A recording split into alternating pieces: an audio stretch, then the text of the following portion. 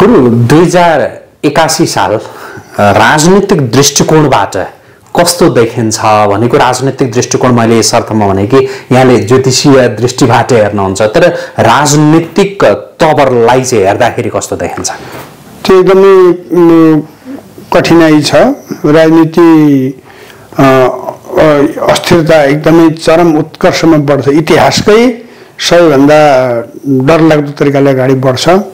र हामीले त्यो भन्नुभन्दा पहिले के कुरा जानकारी दिनुपर्ने हुन्छ भने वर्षारम्भमा वर्षारम्भका ग्रहहरूमा विशेष गरेर तिनवटा क्षेत्र विशेष ध्यान दिनुपर्ने हुन्छ जसमा वर्षको राजा। चैत्र शुक्ल प्रतिपदाको दिन जुन बार पर्छ त्यो बार वर्षको राजा हुन्छन्। यस बार मङ्गलबार परेको छ राजा मङ्गल छन्। र त्यसै गरी वैशाख सङ्क्रान्ति जुन बार पर्छ त्यो बार मन्त्री हुन्छन्। यसबार शनिबार वैशाख सङ्क्रान्ति परेको छ र मन्त्री शनि छन्। त्यसै गरी सूर्य जुन समयमा मेष राशिमा प्रवेश गर्छन् त्यो जग लग्न अथवा वर्ष लग्न हुन्छ। त्यो हिसाबले दुई हजार एकासी सालको वर्ष प्रवेश धनु लग्नमा भएको छ। यी विविध कुरालाई हेर्दाखेरि के छ भने यो अत्यन्तै कठिन र विभिन्न खालका सङ्कटै सङ्कटको सामना गर्नुपर्ने। यहाँका प्रश्नलाई हेर्दाखेरि विशेष गरेर जुन राजनीतिक कुरा गर्नुभयो र त्योभन्दा पनि प्राकृतिक राजनैतिक सामाजिक हरेक क्षेत्रमा चाहिँ नकारात्मक प्रभावहरू पनि पर्छन्। जस्तो दुई हजार बहत्तर सालमा अहिले जस्तै उल्टो तरिकाले उबेला राजा शनि थिए मन्त्री मङ्गल थिए। अहिले मन्त्री शनि छन् राजा चाहिँ मङ्गल बनेका छन्। यी एक आपसमा शत्रु हुन्। र दुर्भाग्य भनौँ या सौभाग्य भनौँ वर्ष प्रवेश गर्दै गर्दा शनि र मङ्गल एउटै राशिमा कुम्भ राशिमा छन्।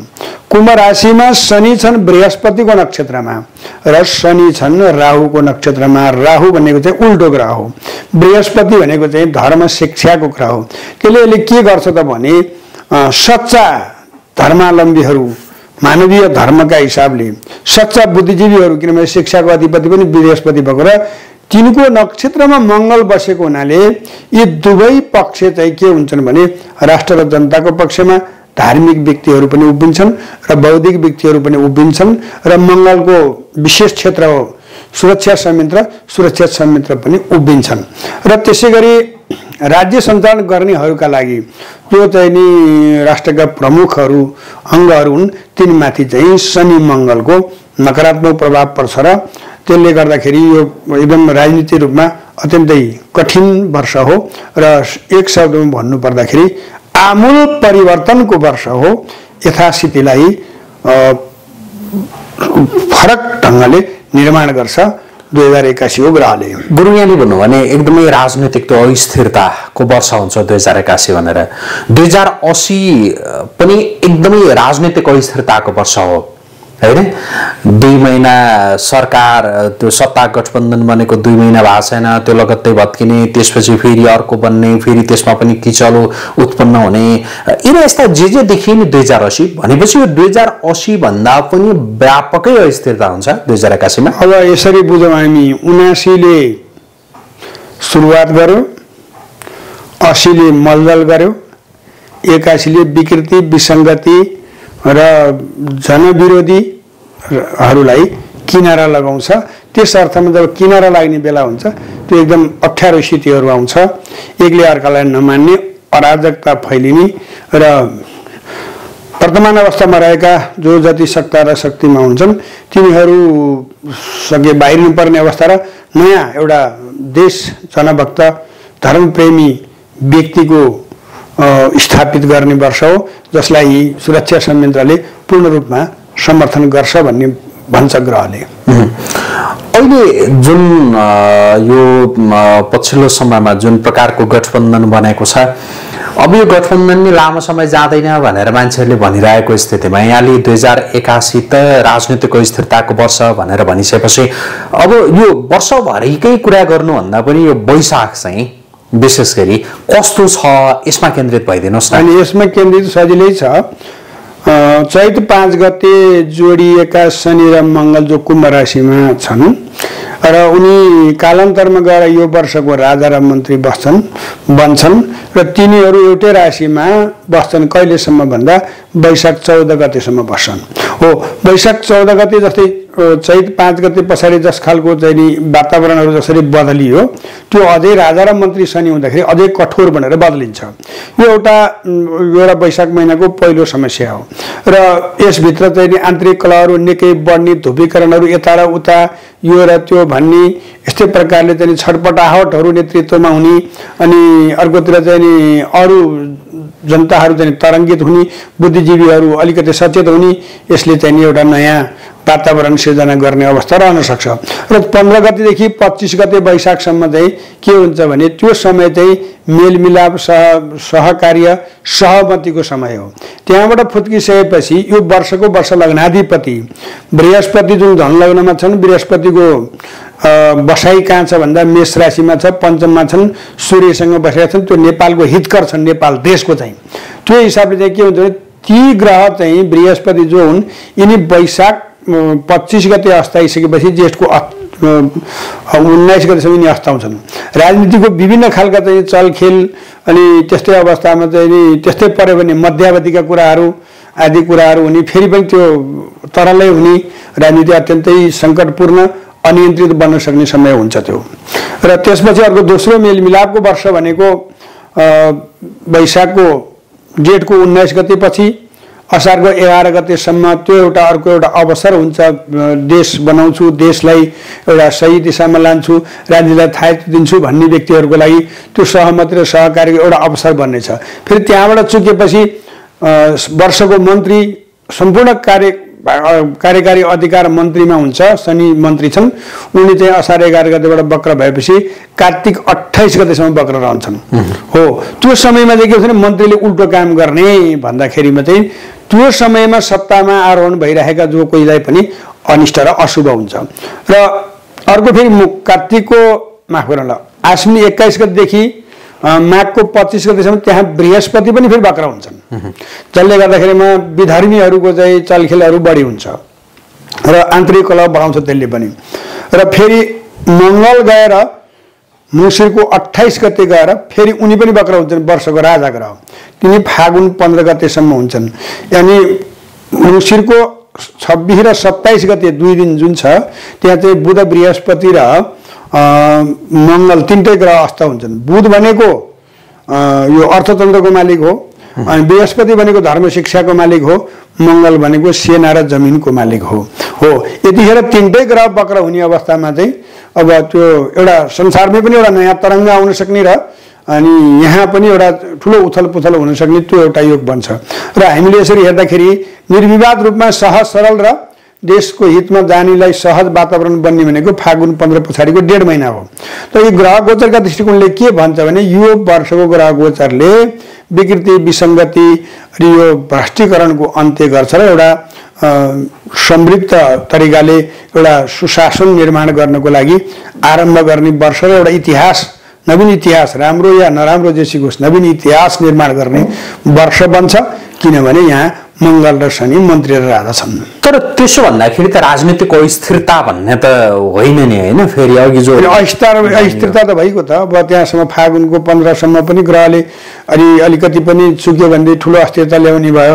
तर अस्थिरता के को लागि भन्दा थायित्वको लागि हो। मैले यो वर्षको नै कुरा गरिरहेको छु। वर्षको अन्त्यमा गर्दा फेरि थायित्वको कुरा गर्नै पर्ने हुन्छ र गर्न बाध्य हुन्छन्। भनेपछि अहिले यो सरकार फेरबदल या सत्ता समीकरणमा केही सत्ता समीकरणको जोड घटाउ भइरहने मात्रै होइन कि?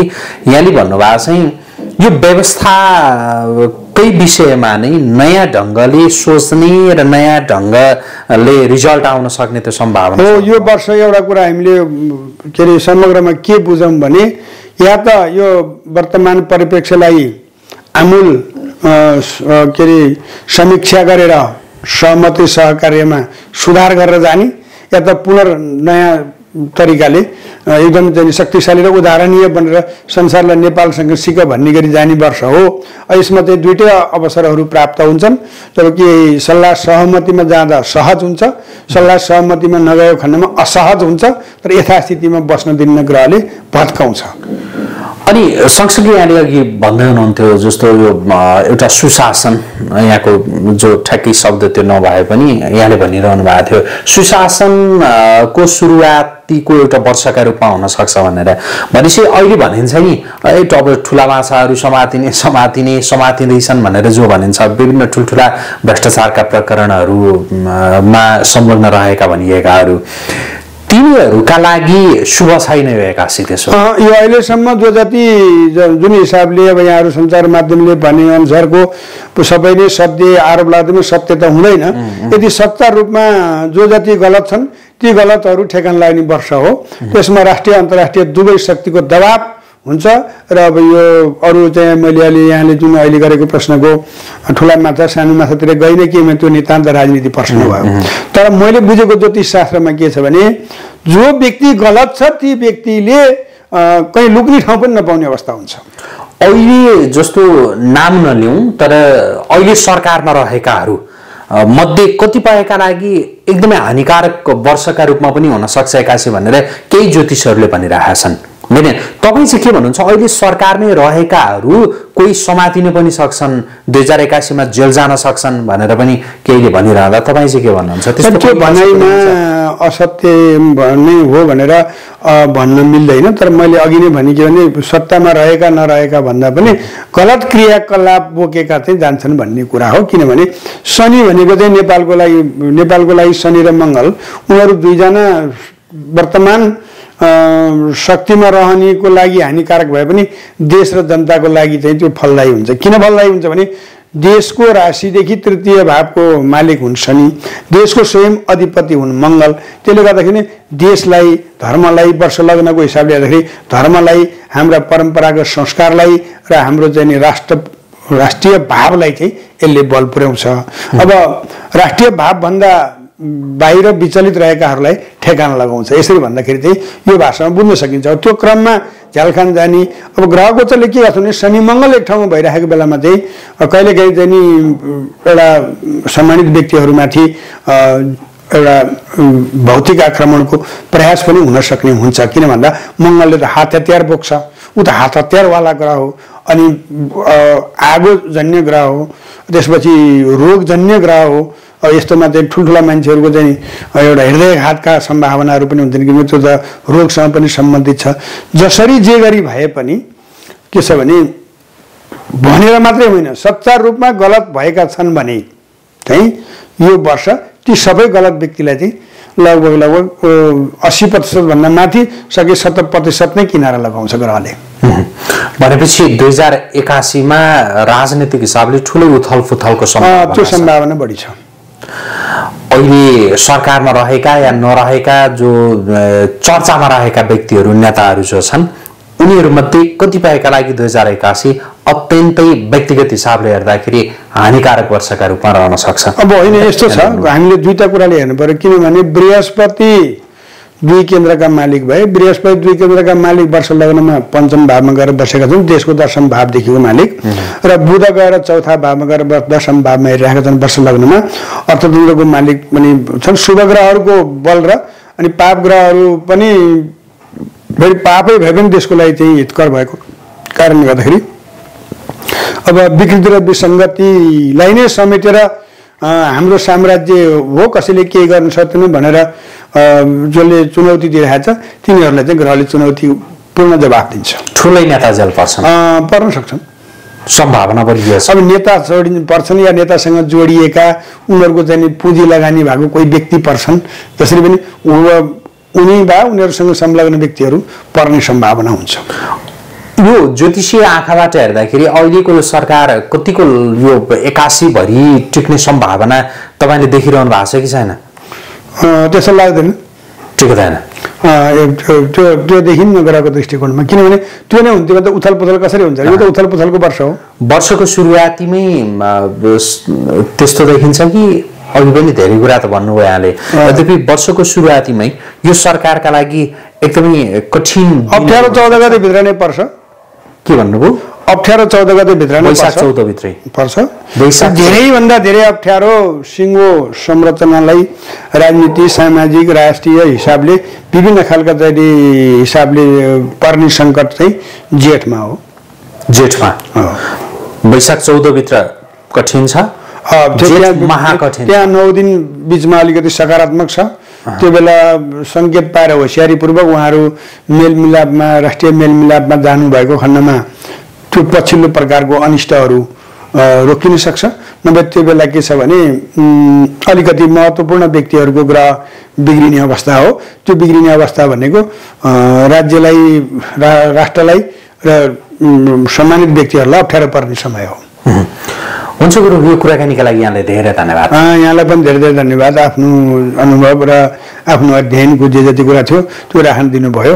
त्यसलाई म यहाँलाई हार्दिक धन्यवाद दिन चाहन्छु र सम्पूर्ण दर्शकहरूप्रति फेरि जहाँ जाँदैन नव वर्षको शुभकामना दुई हजार एक्कासीको पनि भन्न चाहन्छु।